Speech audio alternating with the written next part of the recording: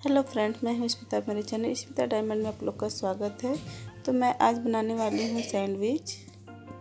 यह बहुत ही टेस्टी होती है अपने बच्चों के लंच में इसको बनाकर दे सकते सबसे पहले मैं यहाँ पर रखूँगी कढ़ाई, उसमें थोड़ा सा तेल डालूँगी और उसमें बारीक कटा हुआ प्याज डालूँगी और उसको अच्छे से फ्राई कर लूँगी ब्राउन होने तक। अब इसमें मैं डालूँगी बारीक कटा हुआ हरा मिर्च। इसको भी अच्छे से मिला लेंगे। अब मैं इसमें डालूँगी अदरक, लहसुन का पेस्ट। इसको भी अच्छे से डालकर फ्राई कर लेंगे। अब यहाँ पर मैंने चार पाँच आलू को उबाल लिया था और इसको इसी में डालकर मिला लेंगे।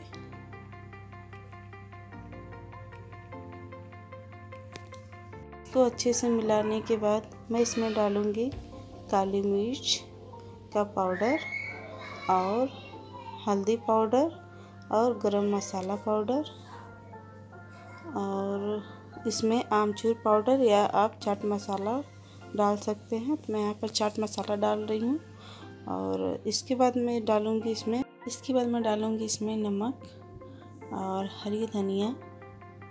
इसको डालकर अच्छे से मिला लेंगे।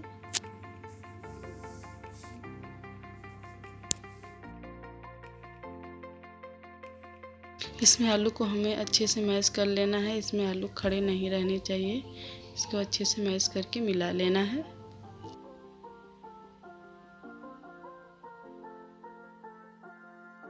अब हमारे आलू बन चुके हैं। अब इसको हम बाहर निकाल लेंगे। और इसको भरने के लिए मैंने तीन चार वाइट ब्रेड लिया है। आप चाहे तो कोई से भी ब्रेड ले सकते हैं।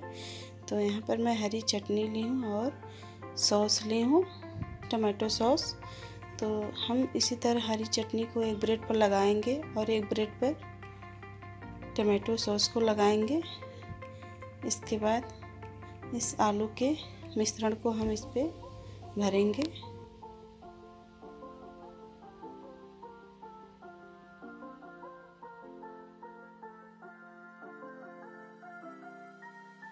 इसी तरह से हमें आलू को पूरे ब्रेड पे लगा लेना है। इसके बाद हमें दोनों ब्रेड को एक में सटा के रख लेंगे। इसी तरह से हम सभी ब्रेडों में हम इसी तरह आलू लगाकर और चटनी सॉस लगाकर रख लेंगे।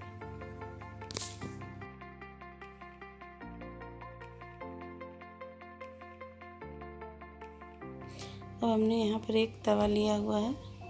और इसको अच्छी तरह से गर्म हो जाने पर इसमें मैं डालूँगी बटर।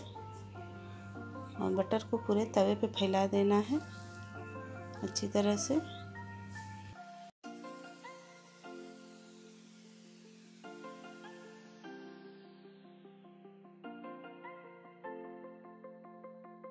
और इस पे ब्रेड को रखकर हम सेक लेंगे।